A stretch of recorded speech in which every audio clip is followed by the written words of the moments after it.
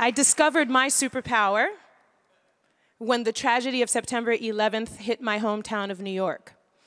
I saw the second tower fall with my own eyes. I saw thousands walk against traffic up Broadway covered in soot. I joined thousands of New Yorkers in mourning for the lost and hoping to donate blood to survivors, survivors that never came. My helplessness visited me again, the one that I feel during mass tragedy and insurmountable troubles of this world. Except this time, an overwhelming thought surged through me. I have to sing. I have to sing. I have to get out there and sing.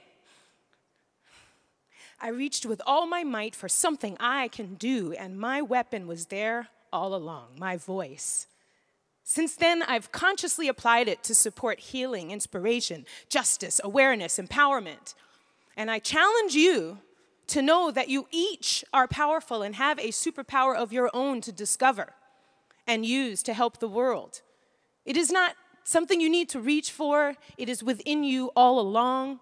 And it may seem small or weird or silly, but this superpower is something that you already